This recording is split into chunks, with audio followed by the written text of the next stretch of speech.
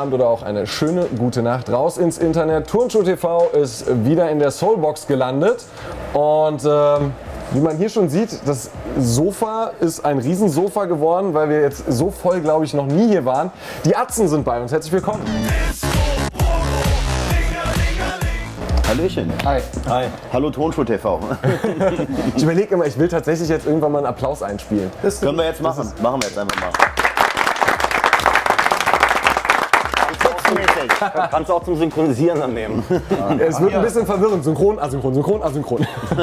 Wo, wo wir sind, wir haben hier DJ Records mitgebracht auch noch. DJ Reckless rockt das Haus, alle Frauen flippen aus. Ja, dann setzt du mir doch einfach ein paar Q-Punkte auf den Applaus. Das können wir auch machen. Ich fange mal mit der Musik an bei euch, was ja irgendwie äh, bei den Atzen erstmal das erste ist, woran man denkt. Weil an Sneaker denkt man bei euch wahrscheinlich erst äh, im zweiten Weg, dass ihr riesige Sneakerhead seid. Ähm, was, sieht bei, was, was steht bei euch an? Ihr hattet riesen Hits in Deutschland gehabt. Hey, Jetzt ist es ein bisschen ruhiger geworden. Man sieht bei euch Social Media, sieht man immer was. Aber ähm, was passiert bei euch gerade? Wir sind gerade sehr viel live unterwegs. Das heißt, wir haben ohne Ende Gigs 2014. Die Leute können das auf unserer Facebook-Seite checken, wo wir sind.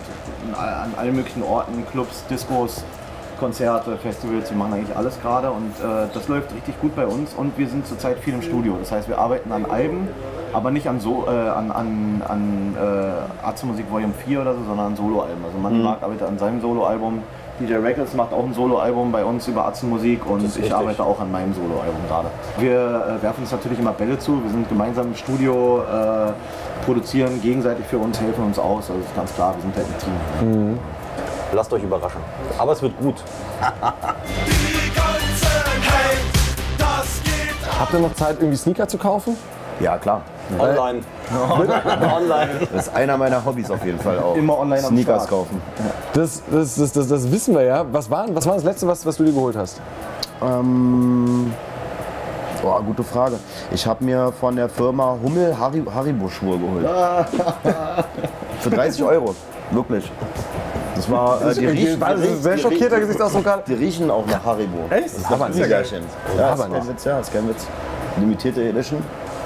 Ansonsten bin ich sehr großer äh, Nike und Adidas Fan, Mhm. auf alle Fälle. Und auf der Suche nach äh, Adidas Phantom. Die gab es, glaube ich, wann war das? 1995? Ja, ja. Anfang 95, 90er haut ne? hin. Geil, das sind Bei ja Niklas. die Die schwarzen. schwarzen, rote, Geil. grüne. Ja, es gibt, äh, ich habe mal im Internet geguckt, es gibt welche, äh, die wurden irgendwie hergestellt, die kriegst du nur in Amerika von New York Knicks und so. Da gab es so Adidas Phantom, so eine Limited Edition, aber ich will halt auch die echt die schwarzen haben von Die schwarzen, die geilsten. Äh, und wir wissen ja auch schon, was du dir als nächstes holen wirst. Das haben wir schon. Ach so, ja. Die, die feiere ich total, weil die haben so ein, ähm, die sehen oldschool aus, sind aber halt neu, ne? Aus alt mach neu. Nee, die sind geil, die will ich mir auf jeden Fall holen. Die sind Bombe. Das sind die EQT Support. Okay, weil ich habe äh, ZX8000, da gab es ja auch mal von Adidas die äh, Star Wars, die haben ja eine Star Wars Genau. Edition gemacht. und Genau, das war vor, ja das letzte Mal, glaube ich, vor drei Jahren, vor zwei Jahren. Ja, da habe ich mir auch alle geholt. Wo sieht man es? Wahrscheinlich nirgendwo gerade. So, der äh, Flux, der ja im Februar dann kommt. Äh, der ist ja auch Basis geil. von dem ZX8000. Ja, äh, der, den, kann, den kann ich euch nur wärmstens empfehlen. Also ich habe Die mir sind jetzt ein paar wahrscheinlich auch Tage mega an, bequem, ne? Voll geil. Super bequem. Wahrscheinlich gleich bequem. Die- ich glaub- ich glaub, das das sind halt wird sich- ne? Die genau. Sind einfach alle krass. Ne? Aber ich habe mir auch, das kann ich ja mal so jetzt einfach mal sagen, die, äh, das weiß ja Hikmet auch, die Nike Max Ja. habe ich zum Beispiel. Diese da hast du äh, ja gesagt, wie viel? Zweieinhalbtausend hast du? 2600 Euro habe ich dafür bezahlt. Habe aber jetzt mittlerweile auch ein Angebot, da würde mir einer schon 10.000 für geben. Also ich Dinger gehen ab. sehr lange vor dem Internet Aber man muss noch gesessen dazu sagen, frag ihn mal, was für eine Karre er fährt. Peugeot Ein DeLorean. 205. Ein DeLorean. Okay. DMC Motorcars. Da musst du die Schuhe haben. DMC Also 12. kannst du Da musst du die Schuhe haben. Aber du mir fehlt nur noch die Jacke. Du trägst sie nicht, oder? Was, die Schuhe? Die Max. Nein, um Gottes Willen. Die Replikas. Ich habe meine Replikas auch geholt. Die, ja, die trage ich ab und zu, ja. Also die Replika-Schuhe, die sind tutti, weißt Ja. du, wenn du so... Die ich sind okay, ja. Letztens einen Herzinfarkt bekommen, hab ihn ja gefragt, sag mal, trägst du jetzt die originalen Botten und rannst die da so runter? Hm, Ja, nö, das sind die Replikas. Kannst du nicht machen, glaube ich. ich glaub, Aber wenn du die Karre hast, finde ich schon, das ist Ja, da komme ich mal bei dir hier Sehr rumgefahren. gerne. Auf jeden Dann Fall. eine Tour. Wenn du mal irgendwie äh, ein Release hast, dann kann man ja den Wagen hier mal hinstellen, Das weißt ist eine du? geile Idee.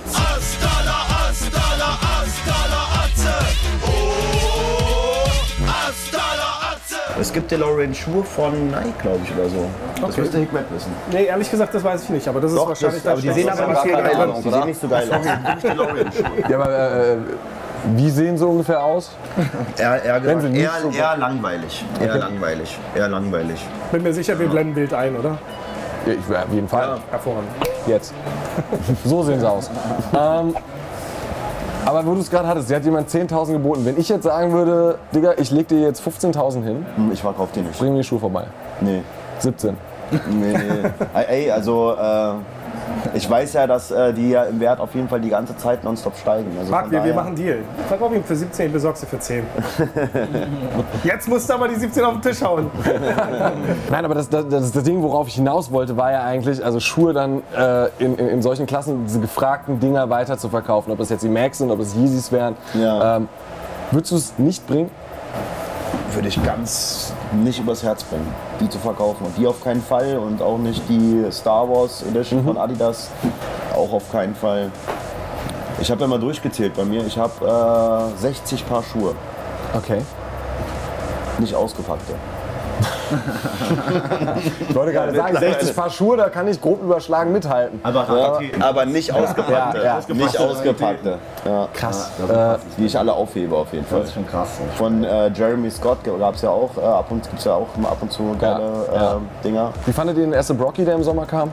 Wie, was war das für einer? Der schwa komplett schwarze, ähm, all black, äh, da waren dann noch so Sterne auf der Seite drauf. Also den gibt es jetzt auch als äh, Black on Black ähm, zu kaufen. Äh, aber die erste Brocky-Version hatte halt noch so drauf gestickte Sterne. Okay, den kenne ich nicht. Ich habe die mit den Flügeln, ich habe die Teddy Genau, die hat er auch. Ich will Party, Party, Party, bis die Leute durch. Ich habe äh, gestern gehört von jemandem, dass äh, einer sich die Nike Max geholt hat und die auch trägt. Ich habe mal ein Bild gesehen. Unfassbar. Nee, wirklich. Das ist kein Witz. Der hat zwei Paar, glaube ich, oder so davon und der trägt die einfach. Beide auch. Ich Bild- Aoki. Aber das ja, ist okay. auch cool. Ich finde das auch cool, weil ähm, dieses Sammlerding, so alles immer verpackt hinhängen, das weiß ich nicht. Aber kann, da freust du dich in fünf Jahren Ja, oder in zehn klar. Jahren irgendwann mal, dann kannst du die immer noch anziehen. Das ist, das ist halt die Frage. Also ich glaube, bei so, einem- bei, so, bei so einem Nike Mag, äh, der echt, wo wir glaube ich alle so die Generation sind, die halt komplett von Marty McFly angefixt waren, ähm, würde ich es mir auch zweimal überlegen, ob ich sie anziehe. Bei allen anderen Schuhen stimme ich dir vollkommen zu. Ey, zieh die Dinger an, dafür sind sie auch gemacht. da. Ja, ja, klar. Ähm, Ja, aber vor allem, wenn du gerade die Replikas schon im Schrank hast, ja, dann trägst du nicht die Originalen, weil dann gehst du mit den Replikas raus und freust dich, dass die Originale zu Hause hast. Die sehen nämlich auch geil aus. Ich habe die ja gesehen, also die sind echt krass. ich denke mit, würdest du einen Nike Mag anziehen, wenn du ihn hättest? Ehrlich gesagt, ja. Ähm, Weil du bist ja auch jemand, der mal sagt, anziehen. hängt echt davon ab, gerade wie der finanzielle Status ist.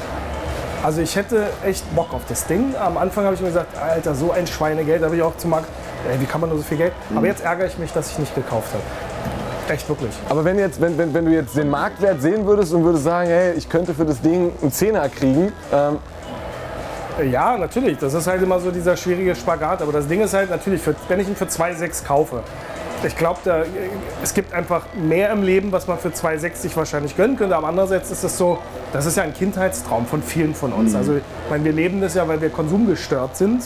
Ähm, und wenn du dann jetzt auch noch mal eins on top packen kannst und eine Botte kriegst, die auch noch passend zu deiner Karre ist. Also, was willst du denn mehr? eben. Das ist ja. muss und das ist eine Geldanlage. Ne? Also es ist wirklich so, wenn du es halt nicht trägst, dann ist es eine Geldanlage, dann ist es wie ein halt guter Wein im Keller, ne, hast halt deinen Schuh da stehen. Genau. Ich meine, für einen besonderen Anlass, vielleicht heiratet er mit den Dingern oder sowas, kann weiß sein, man ja ja, nicht. Total geil. Aber Ich wollte ansonsten, gerade sagen, er lebt halt voll meinen Traum. Er hat einen DeLorean, er hat die Max. also schlecht werden die Dinger ja nicht. Außer sie werden irgendwann mal vielleicht schlecht gelagert sein. Oder Nee, nee, die sind äh, in Berlin gibt es auch ja, wie lagerst du die? Äh, im Schuhschrank, äh, in so einem Karton hier, in so einem ganz normalen, simplen Karton. So. Obwohl die Sohlen ja irgendwann Ich aushärten. wollte gerade sagen, soll man die nicht klimatisieren sogar dann? Ist halt gefährlich, weil das Ding ist, ähm, du weißt halt nicht, was die für ein äh, Innenpapier reinlegen. Also es gibt ja schon chemische Prozesse, wenn ein bedrucktes Papier mit äh, Kunststoff in der gleichen Box kann dann halt der, der Weichmacher im Prinzip aktiviert werden und all so eine Sachen. Also Oder wie bei, wie bei den ganzen alten 80er Jahre Turnschuhen, wo dann Genau, die Sohle genau. so Die ganzen PU-Schaumsohlen, die dann. Also bröselig werden. Kleber da dran, Genau. kriegst, äh, holst dir einen neuen Kleber, so einen U-Spraykleber, kriegst du wieder dran. Freust dich, hab ich, hab ich, bei irgendeinem Videodreh habe ich mal so einen alten Botten angehabt, da ich wirklich so eine geilen 80er Jahre Dinger Und danach auseinandergefallen, und dann während des Drehs ist dann die Schuhsohle abgegangen. Nein, das kann nicht wahr sein. Also Hölle, oder? Äh, wenn sowas passiert. Und Ich glaube, ich glaube, bei ihm ist gerade im Kopf so, fuck, ich muss nach Hause. Nicht, dass du für 2600 Euro jetzt einen Schimmelpilz in der ich check Kiste das hast. jetzt wirklich mal ab. Chillen die Teile. Oh, wie krass das wäre.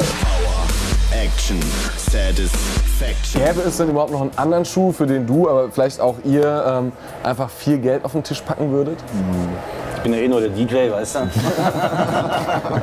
ich, hab, ich bin ein Riesenfan von 574er New Balance. Ich habe sehr viel davon, ich glaube grün, gelb, rot irgendwie. Und äh, Also New Balance, wenn ihr das hört, ihr wisst, äh, wer hätte noch Schuhe bekommen können. New Balance ist da auch bin ich so super. ein bisschen, äh, wie gesagt, ich, ich, oute mich jetzt mal richtig. Also ich meine, ich finde den Film auch super, aber ich muss den nicht haben. Also für 2,6 kaufe ich mir lieber einen Flipper. Wenn du nach, bei ihm zu Hause bist, dann überall nur Automaten. Sogar im Flipper, Schlafzimmer, es ist alles voll. Also ich glaube, ich habe alle Konsolen, Eine die es gibt. zu Hause. Außer diese ganz alten 8-Bit-Dinger, die interessieren mich nicht. Wenn wir jetzt wissen, dass bei Marc die Leidenschaft eben auf 2600 Euro Schuhen liegt, bei dir die Leidenschaft auf Flipper liegt ähm, und Konsolen. Frauenarzt natürlich bei Frauen. Was bei den anderen natürlich auch. Genau, wofür gibst du denn jetzt dein Geld aus? Ach du, für alles Mögliche. Man hat ja immer irgendwie seine Phasen, in denen man sich für irgendwelche Sachen interessiert und äh, dann irgendwie aus einem Sammelfilm kommt. Zurzeit ist es bei mir die analoge Fotografie. Ja. Ich bin äh, Okay. ganz großer Fan von analogen Snapshot-Kameras geworden. Und Diese ganze Lomo-Nummer auch?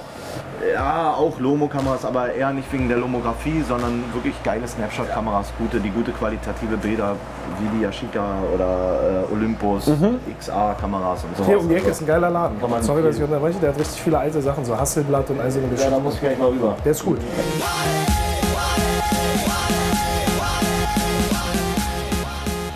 Man merkt, das sind alles so Sachen aus unserer Kindheit, ne? alles 80er Jahre. Hier äh, Marty McFly, Back to the Future, Flipper und 16-Bit-Spiele, analoge Fotografie. Ich habe auch Super 8-Kameras ohne Ende, äh, die ich sa- sammle, auch richtig geile Kameras.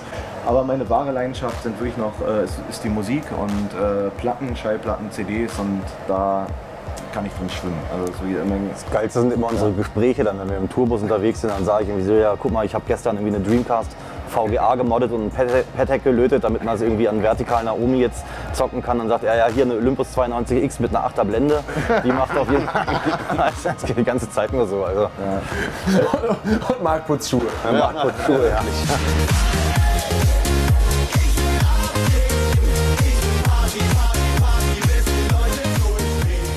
wir sind aber bei Tonschuh TV, oder? Wir sind bei Tunsch TV und in der Soulbox in Zukunft auch all eure anderen Kindheitserinnerungen.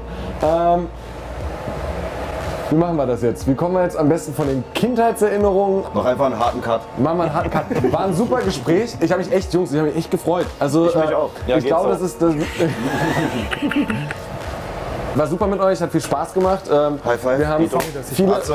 Dinge aufgearbeitet, die uns so beschäftigt haben in den letzten 30, 40 Jahren. Und äh, in diesem Sinne, Turnschuh TV verabschiedet sich.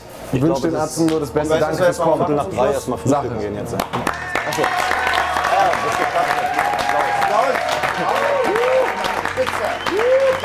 Tonschuh TV.